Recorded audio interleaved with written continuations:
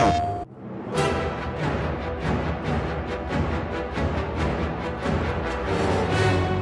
Motive team came on board to specifically do the single player campaign for Battlefront 2, we had our team from Lucasfilm Story Group, we had our internal Lucasfilm um, Games production team. We kind of all huddled and they were like, we have a pitch for you. And we were like, cool, let's see what this is. We knew when coming into Battlefront that we wanted to tell a soldier's story. And, you know, we'd, we'd seen a lot of stories from the heroes of the rebellion. They pitched us a story that would span from Return of the Jedi through to the events of The Force Awakens. One of the great things that they included too was like, we want to do it from an Imperial point of view because it hasn't really been, been done, at least not in that fidelity before. Our new protagonist is Iden Versio.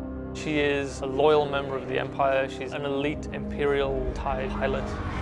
She comes from an Imperial family. Her father is an admiral. She is the perfect candidate to believe in, in the good of the Empire.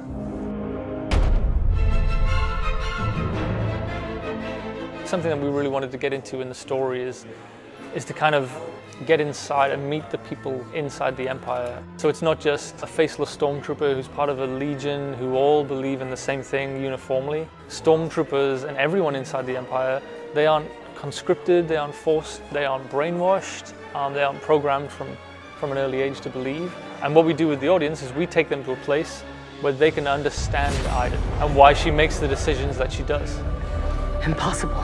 There's some really great character and gameplay moments, right? And as somebody who's on the development team, story is is really important to me and we've all worked really hard to craft something we're incredibly proud of. And so I'm excited for fans to get this game in their hands, to be able to play as Iden and Inferno Squad. And there's some really cool single player gameplay moments that I'm excited for fans to get their hands on too.